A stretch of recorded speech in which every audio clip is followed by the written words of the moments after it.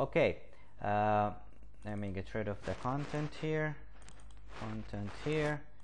Okay uh, I have a bunch of controls but of course they are not aligned. It doesn't look, look professional so I just want to make them look a little bit better. I will choose my text uh, boxes and I will right click and I will say same size as in what?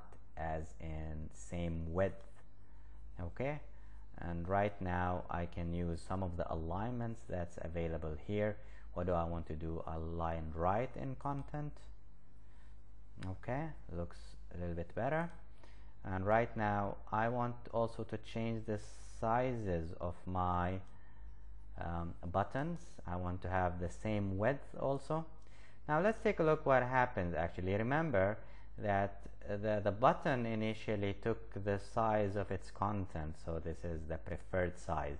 But right now that I said I want them to have the same size let's take a look what happens here. So if I enter something like um, let's say the letter A and then B okay it didn't change it didn't get smaller. But let's see what happens when I enter um, content that is a little bit bigger than the size so I would say insert record for example.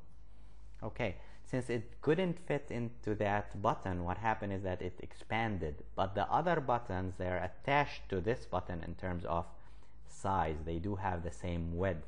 So basically what happened is that um, uh, all the other buttons got expanded into um, the same size okay? So basically this is it for this lesson. Uh, we learned about uh, uh, some of the design concepts some of the things that we can do visually in NetBeans using uh, the Java swing controls. We learned a little bit about the containers. We learned that um, inside a panel the main container I can put a lot of controls. We learned about the uh, swing menus. We saw that a menu is also a container that usually uh, uh, have has um, many menu items.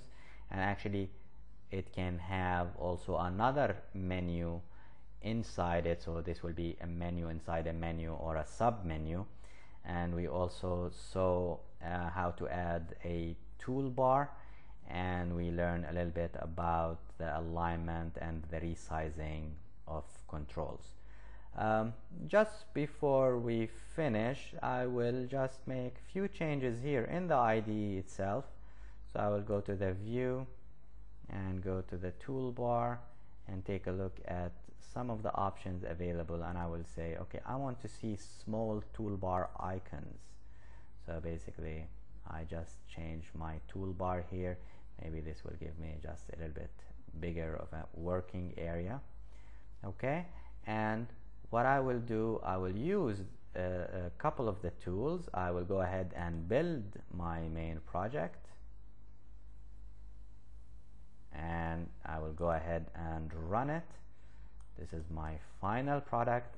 Again no programming so nothing happens really when I click any of the buttons. However I do have a nice looking desktop application with a common GUI components.